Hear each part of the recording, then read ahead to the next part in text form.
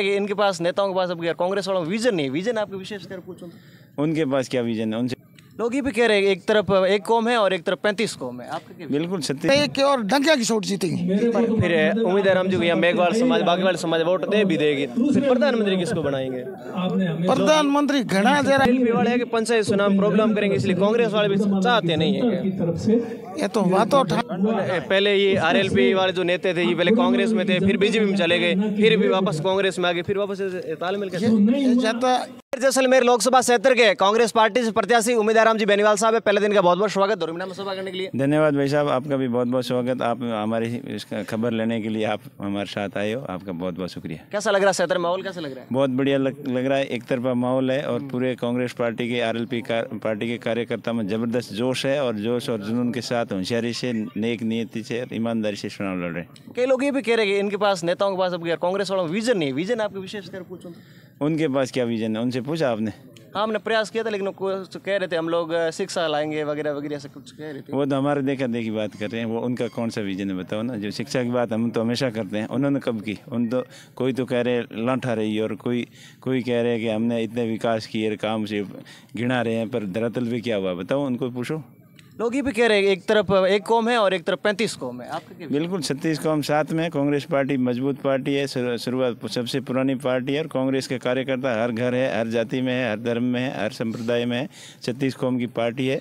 और ये विरोधियों का तो यही काम है कि उल्टा सीधा बोलना भड़काना और चुनाव के माहौल ख़राब करके अपना निजी फ़ायदा लेना। पर बाड़मेर जैसलमेर बालोतरा की जनता खुद समझदार है होशियार है और एकदम संगठित होकर अपने सीनियर नेताओं के अंडर में मजबूती से कांग्रेस पार्टी चुनाव लड़ रही है और बड़े मार्जिन से चुनाव जीतेंगे। हमारे दर्शकों की ओर से आपको अग्रिम शुभकामनाएँ। और जननायक हमाराम जी चौधरी साहब है मैं पहले दिन को आशीर्वाद ले लेता हूँ। साहब आपको बहुत बहुत आशीर्वाद हमारे ऊपर बना रहे। कैसा लग रहा सुना माहौल?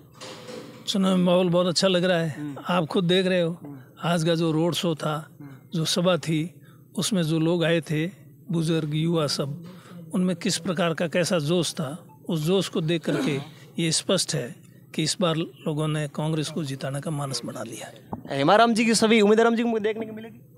बिल्कुल मिलेगी मिलेगी नहीं ये तो मेरे से ज़्यादा काम करेंगे। मैं तो अब उम्र हो गई। अब इस उम्र में ज़्यादा काम नहीं कर सकता इसलिए मैंने चुनाव ही नहीं लड़ा। लोग सही चीज़ को स्वीकार नहीं करते मैं तो करता हूँ भाई, जो अस्सी में एमएलए बना, मेरे काम करने की क्षमता थी वो आज थोड़ी है। इसलिए मैंने ये स्वयं ने तय किया कि नए युवा लोगों को लाओ और ये ज़िम्मेदारी सौंपो। तभी जा करके आगे ये लोकतंत्र मज़बूत होगा और जनता की सेवा होगी। जनता की सेवा के लिए इनको खड़ा किया नहीं तो मैं खुद ही खड़ा हो जाता। मेरे जित ये काम कर सकते उतना अब मैं इस उम्र में थोड़ा ही कर सकता हूँ इसलिए इनको लाए। जो हेमाराम जी में जो सादगी है वो उम्मीदवार जी को देखेंगे या फिर बिल्कुल सादगी ये भी एक साधारण किसान परिवार से मैं भी साधारण किसान इन्होंने तकलीफें देखी है मैं नहीं देखी। जिस आदमी ने स्वयं ने तकलीफें देखी है ना वो कभी भी गलत रास्ते नहीं जा सकता कभी उसमें अहंकार नहीं आ सकता। हनुमान जी बेनीवाल से अब अलग होके आए तो कुछ प्रभाव पड़ेगा आरएलपी कांग्रेस? हनुमान जी बेनीवाल आरएलपी का गठबंधन है ना? हनुमान जी बेनीवाल साथ ही तो है। हनुमान जी कह रहे हैं कि हमारे से पहले हमारे बिना पूछे आ गए थे। आप उसमें जयपुर में साथ में था नहीं हनुमान जी ये इन्होंने कांग्रेस से चुनाव लड़ रहे हैं ठीक है नहीं? कांग्रेस का आरएलपी का गठबंधन है तो फिर अब आर एल पी कांग्रेस के बीच में कोई विवाद की बात तो रही नहीं। जब गठबंधन है तो फिर हनुमान जी अलग कहाँ है? हनुमान जी साथ में है।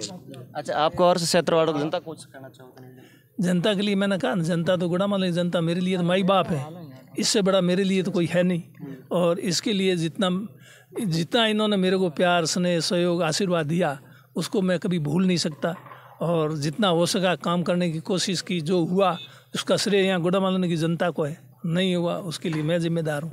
गुड़ामालन जनता जिम्मेदार नहीं है। उम्मीदवार जी अगर जीत जाओगे जीत का किसी जीत का श्रेय पूरे कांग्रेस पार्टी के समस्त एक एक कार्यकर्ता को और छत्तीस कौम के लोगों को। शुक्रिया थे मेरे साथ में हमारे बाड़मेर जैसलमेर होने वाले सांसद उम्मीदवार जी बेनीवाल जी नाम चौटन के पूर्व विधायक पद्माराम जी मेघवाल साहब है जो हमारे मेघवाल समाज के गौरव रतन है जो भी यहाँ दोरिमना में उम्मीदवार जी के यहाँ चुनावी सभा करने थे। पहले तो आपका बहुत बहुत स्वागत है। हाँ जी। कैसा लगा यहाँ पे चुनावी सभा? है आज दोरिमना के अंदर जो चुनावी सभा है ये सभा दर्शाती है कि उम्मीदवार राम बेनीवाल की जीत सुनिश्चित है। लोगों के अंदर जो जोश और जुनून है उसके अंदर यूथ भी है और वरिष्ठ भी है। उन सबने मिलकर कांग्रेस का समर्थन देने का काम किया है। तो ये आने वाले समय के अंदर कांग्रेस के लिए बहुत अच्छे और शुभ संकेत है और कांग्रेस जीतेगी इसमें कोई कमी नहीं है। कांग्रेस में भी कहीं खींचा तोड़ लग रही है ऐसा लग रहा है महसूस हो रहा है? तो वह तो ठहरने वाला हुआ ना कोई को देना ये भी कह रहे कांग्रेस पार्टी के अंदर भी आरएलपी वाले अपने आ गए इसलिए कांग्रेस वाले भी संतुष्ट नहीं है। हैं संतोष जैन ठरके हूँ जीत हूँ। क्या लग रहा है माहौल क्या लग रहा है? बहुत शानदार माहौल है और कांग्रेस की जीत एकदम क्लियर है। आरएलपी पूरी साथ है और कांग्रेस एकजुट है। ऐसे धम को बोला हुआ है है। मेघवाल रहेगा मेघवाल सुबह 90 परसेंट कांग्रेस को वोट देंगे और अपने चौटन से चौटन से पच्चीस हज़ार वोटों से आगे रहेंगे कई लोग ये भी कह रहे हैं बुरा मत मानना। है? कोई लोग ये भी कह रहे हैं बुरा मत मानना कि आरएलपी वाले पंचायत चुनाव प्रॉब्लम करेंगे इसलिए कांग्रेस वाले भी चाहते नहीं है ये तो बातों ठाण वाला है। तो पंचायत चुनाव री बात करे बीच गठबंधन थे ब्रो। मैं तो ये कॉम में ले आऊँ जित खड़ो थेड़ो उन ठाऊं खड़ो करूँ कॉम दई पहले ये आरएलपी वाले जो नेता थे ये पहले कांग्रेस में थे फिर बीजेपी में चले गए फिर भी वापस कांग्रेस में आ गए फिर वापस तालमेल कैसे? ये जाता ये प्रजातंत्र है प्रजातंत्र हेंगो बढ़िया मजो है ही है हेंगो ने स्वतंत्रता अधिकार है। जेते मन पड़े उतरे ठरके हो रहे।